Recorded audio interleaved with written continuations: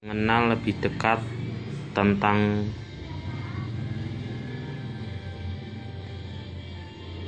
kembang telon.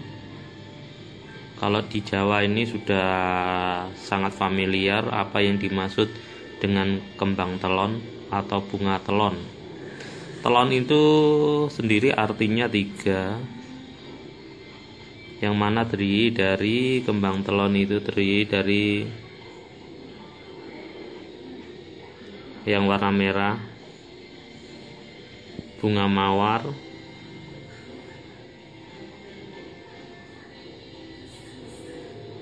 lihat yang merah ini adalah bunga mawar.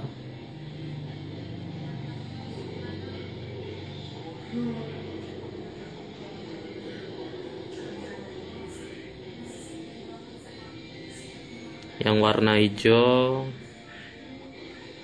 ini adalah bunga kenongo. Atau bunga kenanga.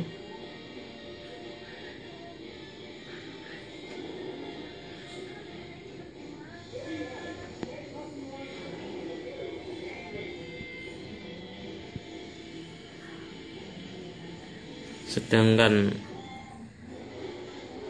sebelahnya lagi yang putih ini namanya kantil.